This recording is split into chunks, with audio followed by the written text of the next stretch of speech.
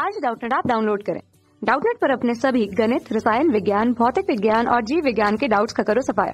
बस प्रश्न की फ़ोटो खींचो, एक ही प्रश्न को क्रॉप करो और तुरंत वीडियो सोल्यूशन पाओ। अभी डाउनलोड करें।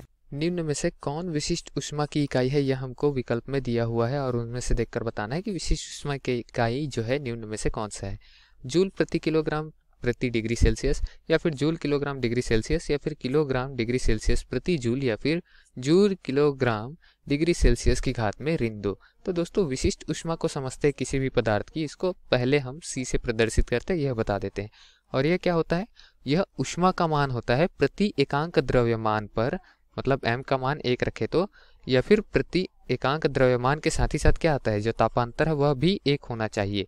तो यहाँ पर तापांतर और द्रव्यमान को एक लेंगे तो ये जो उष्मा प्रवाहित होगी किसी पदार्थ में, उसको हम उस पदार्थ की विशिष्ट उष्मा कहेंगे।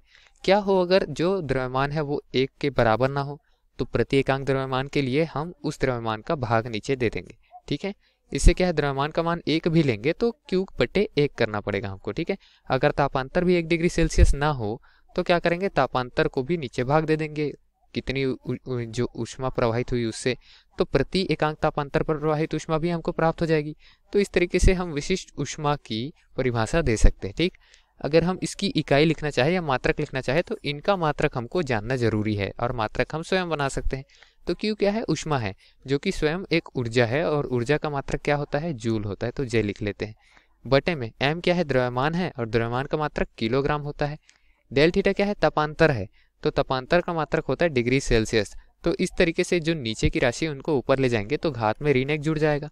जूल, किलोग्राम ऊपर ले गए तो घात में एक जुड़ गया। डिग्री सेल्सियस को ऊपर ले गए तो उसमें भी घात में एक जुड़ गया, ठीक है? यही जो है विशिष्ट उष्मा का मात्रक है दोस्तों। और इसको हमको विकल्प में से ढूंढ कर बताना है कि कौन सा विकल्प जो है हमको सही दिया हुआ है। तो अगर हम विकल्पों की ओर देखें तो हमको विकल्प क्रमांक एक जो है वह सही दिख रहा है, क्योंकि यहाँ पर जूल दिया है किलोग्राम की घात में रीनेक है, सेल्सियस की घात में रीनेक है। बाकी पर क्या देख रहे हैं? किलोग्राम की घात में रीनेक कहीं पर भी नहीं है तो बाकी सारे वो है, गलत हो जाएँगे और हमारा सही विकल्प हो जाएगा विकल्प क्रमांक ए धन्यवाद।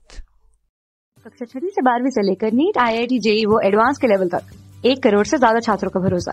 आज ही डाउनलोड करें डाउट नेट ऐप या व्हाट्सएप करें अपने सारे डाउट्स आठ चार सौ चार सौ चार सौ पर।